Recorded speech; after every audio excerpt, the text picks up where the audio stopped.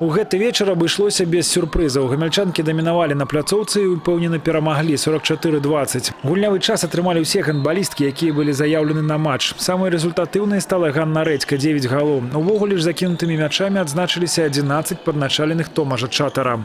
Пугался перед игрой, да будет э, несерьезность в игре, но очень рад, еще раз повторяю, да, отыграли все, так могли все э, девушки отыграть, настроение хорошее, А, и поэтому мог попробовать э, защиту 6-0, 3-2-1, 5-1, А, очень доволен.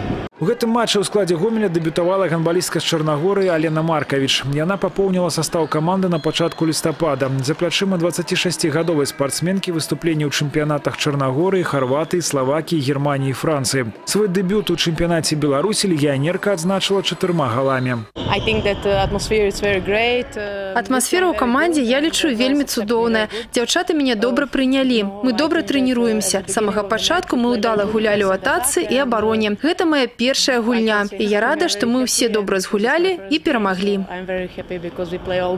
I'm very happy because we play all good. З 2 по 4 снежня ў мінску адбудзецца адборачны турнір чэмпіяната свету 2017 года па гандболе сярод жаночых каманд. Удзел акрамя зборнай Беларусі прымуць каманды Швецыі, Турцыі, Косава. У бліжэйшы панядзелак беларускі пачынаюць падрыхтоўку да турніру. У спісе галоўнага трэнера зборнай Томажа Чатара і гандбалісткі Гомеля Валянціна Кумпель, Вікторыя Шамановская, Ірына Дронова і Крысціна Ахраменка. Вучэбна-трэніровачны збор адбудзецца ў мінску. Максім Савін, Ігор Марышченко, тэлерадыёкампанія Гомель.